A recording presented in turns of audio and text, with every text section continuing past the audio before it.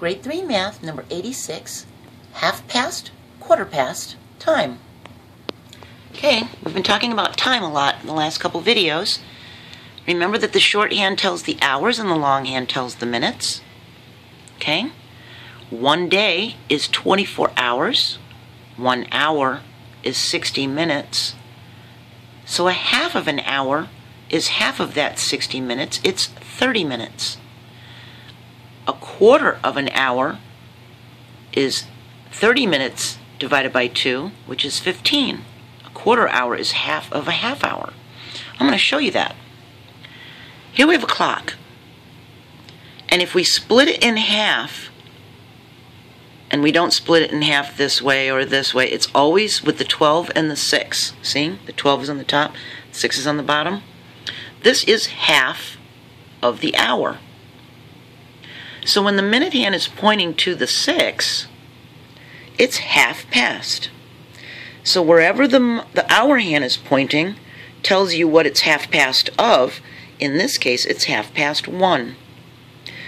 When the minute hand gets towards the middle, this halfway point right here, or farther, it starts getting closer and closer to the next number. It slowly moves to that next number every time the minute hand goes around. So when the minute hand is pointing to the 6, it's halfway in between 1 o'clock and 2 o'clock. So it's half past 1. It's halfway around the clock. Okay? Well, just like the clock can be split in half, it can be split into fourths. And this is why we did fractions before we did telling time. If we split this clock into four pieces, each of these corners is a fourth. It's a quarter. In a dollar, there are four pieces of 25 cents. See? Four times 25 cents is a dollar. So think of it the same way with the clock. There's four quarters to an hour. So one quarter, when we count by fives, is 5, 10, 15 minutes. Each quarter has 15 minutes inside of it, and then it adds up to the 60. So when the hour hand is pointing close to the 1, and the minute hand is pointing to the 3, it's 115, as we've said in the other videos, but it's also a quarter past 1. It's a quarter past. It's one fourth past the hour of 1 o'clock. Now, when the minute hand gets down here, we don't say two quarters past, we say half past. Now, when the minute hand continues going around and it points to the 9, then, like in this case, uh, let me fix this. It's actually 1245 here because it's not quite at the 1 yet, see? So this time would be 1245.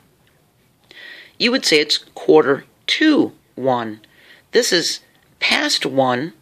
This is 2 1 it's not quite at the 1 yet. If you made dotted lines coming up, you'd see that it's not quite to the 1 yet. And this one is past the 1. See? So this one is 1245. That's the time because it, it you go in between the 1 and the 12 and you always pick the one that's to the left, the one back counterclockwise.